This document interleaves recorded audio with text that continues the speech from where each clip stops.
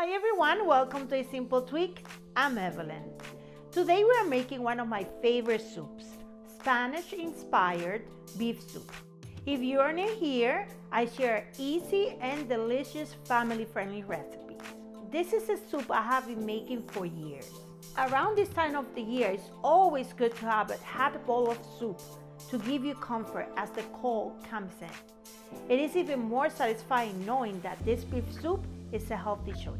So grab your ingredients and let's cook.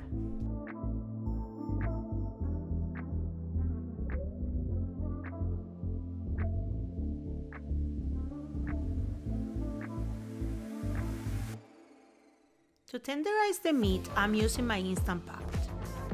The meat is a combination of beef short cubes and beef short ribs. We will start by seasoning the meat with 2 tablespoons of my sofrito, or look for the substitutions in the description box down below. Continue by adding 1 third of a cup of water.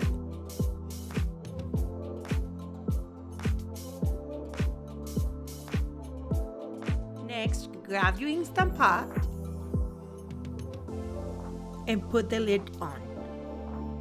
Make sure the little knob is turned to seal. Press meat and high pressure for 20 minutes.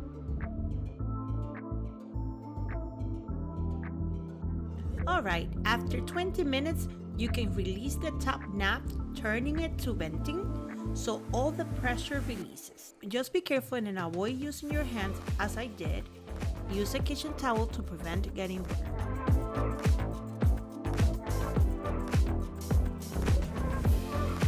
Let's move to the stove.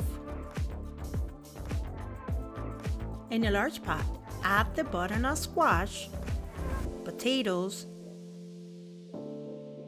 carrots, celery, and water. Turn the stove to medium-high heat and add the noodles, which I break down using my hands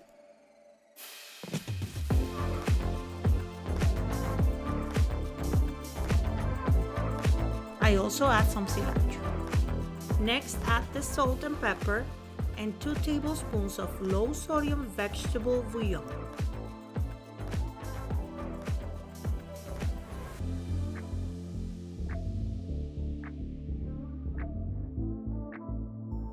Stir to combine and cover the pot.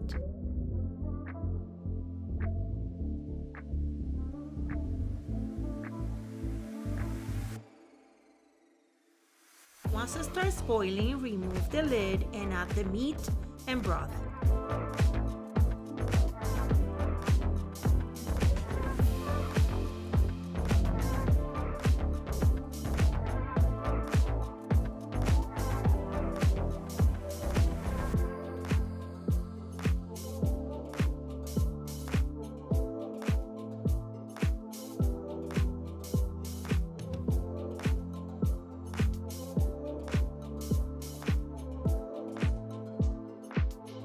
Cover the pot and let it cook for about 15 minutes or until the squash and potatoes are tender.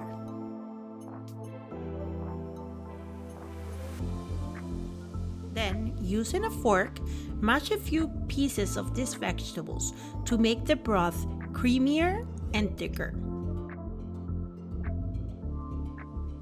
It also provides a beautiful yellow color to the soup.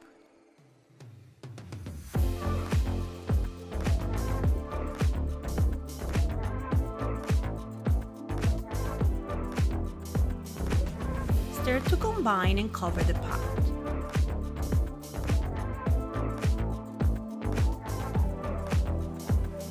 Cook for about 10 extra minutes or until your desired consistency.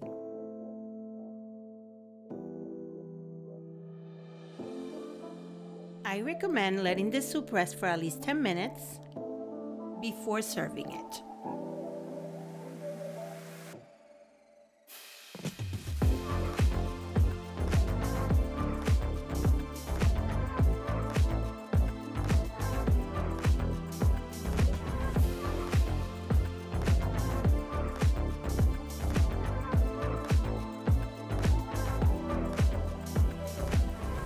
Family and I love to pair this soup with the side of white rice and some avocado.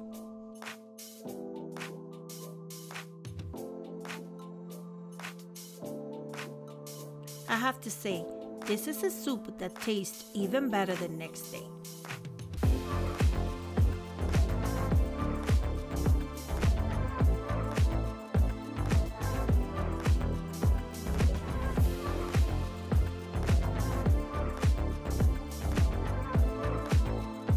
Thank you for watching.